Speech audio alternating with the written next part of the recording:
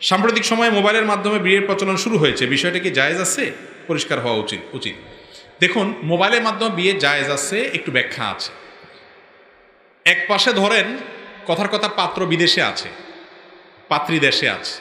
তাহলে নিয়ম হলো, মোবাইলের মাধ্যমে পাত্র পাত্রর বাপকে, ভাইকে, কোনো একজনকে দায়িত্ব দিয়া বলবে অমুকের মেয়ে, অমুককে তুমি আমার সাথে বিবাহের প্রস্তাব দিবা বা তারা প্রস্তাব দিলে তুমি আমার পক্ষ থেকে এই মহারণা বিনিময়ে কবুল করবা। এর দায়িত্বটা একজনকে দিবে।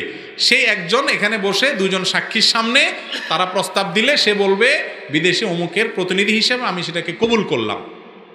কথা কি বুঝাতে পারছি? এটাকে বলা হয় তাউকিল পদ্ধতি, অর্থাৎ প্রতিনিধির মাধ্যমে বিবাহ। এই বিবাহটা হলো ফোনের মাধ্যমে বিবাহের ক্ষেত্রে এই পদ্ধতির কথাই সারা বিশ্ব ওলামা একরাম বলেন।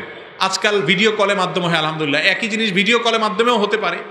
দুই দেশে দুইজন যদি হয়, এবং শুধু ফোন কলে হাই হ্যালো কবুল আর ইজাব হয়, এই সমস্ত ক্ষেত্রে নানা কারণে প্রতারণার সম্ভাবনা থাকে। এই জন্য প্রতিনিধি দরকার হয় যে তার পক্ষ থেকে এখানে একজন প্রতিনিধি থাকবে। কতজন এরকম হয়েছে যে বিদেশ থেকে বিয়ে করছে যে আপনার হয়তো ছেলের নাম সুন্দর আলী, পরে দেখে কিসে সুন্দর আলী? ওইটা কুচকুচে কালো। বুঝে আসছে কথা? এরকম প্রতারণাও হয়।